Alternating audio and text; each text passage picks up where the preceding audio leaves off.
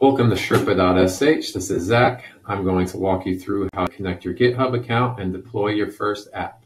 It's going to be quick and easy. First step, go ahead and click that bouncing GitHub button.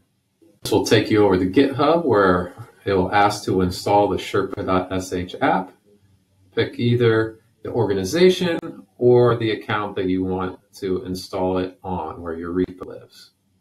Next, you're going to get to choose. Do you want to give the Sherpa app access to all your repos or only to specific ones? The choice is yours. In this case, I'm only going to do select repos and I'm going to pick the Next.js app to show to you. Click install and authorize. Enter your password if you're not fully authenticated.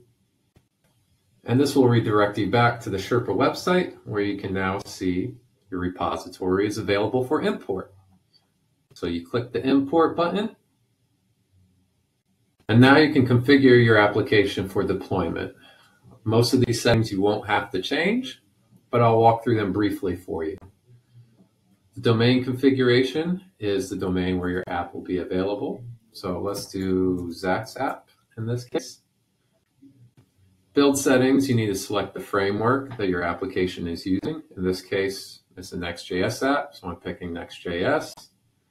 Install command and build command match what I use on my local machine, so nothing needs to be changed there.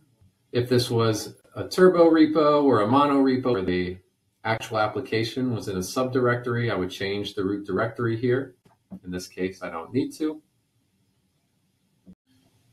Now I'm going to add some environment variables for this particular application. I have my .env file I'm going to paste here. Now my secrets are here. I'm going to let you see what I pasted. Um, all right, and now we get into where is your application going to actually be deployed. So all of your, your static assets and your front end for Next.js will be deployed to the CDN globally around the world. And then the app region is where all of your server side rendering and server actions are going to run. You want to pick a backend region that's closest to your database to minimize round trip latency. In this case, I'm going to just do US West. You should know if you're deploying a Docker app and not a Next.js app, these still apply to you. This is where your Docker container is going to get deployed and will still give you a CDN, batteries included on top of your application and serve your static assets through it.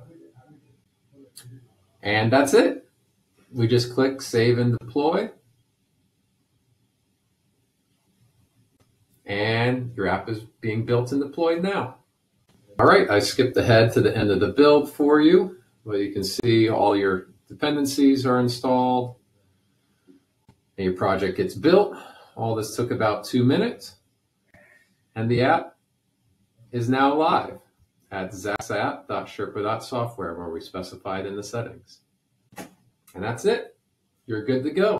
Thank you for trying Sherpa.sh.